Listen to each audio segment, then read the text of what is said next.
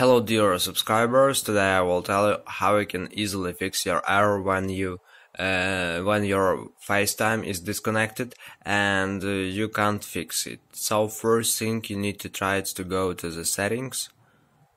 And in the settings you need to find general. And in the general you just need to find here reset uh, sorry shutdown. So just click on shutdown and just click on shutdown and just restore your phone and sometimes it helps.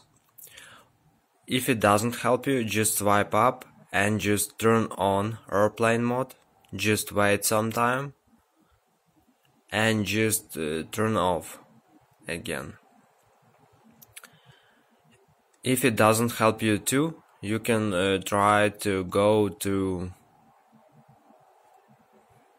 general and in the general you need to find your reset. Just open reset.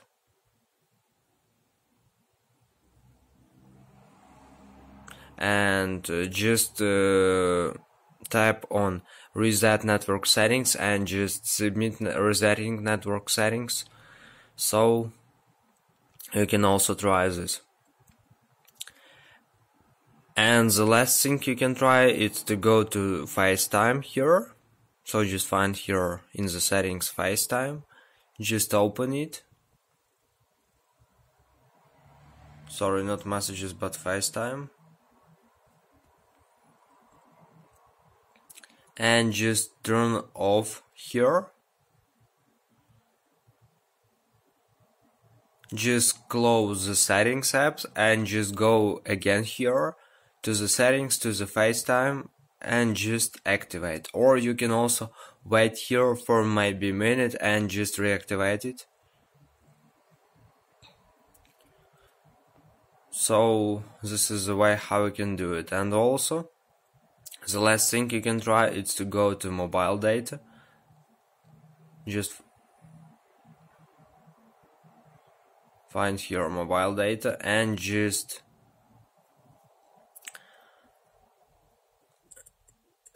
swipe until you will see here.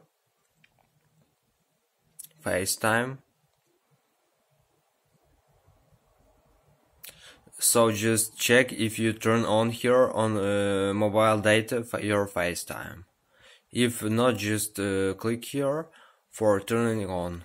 So this is the way how we can do it. So thanks for watching. Have a nice day. Subscribe to my channel. Click like and goodbye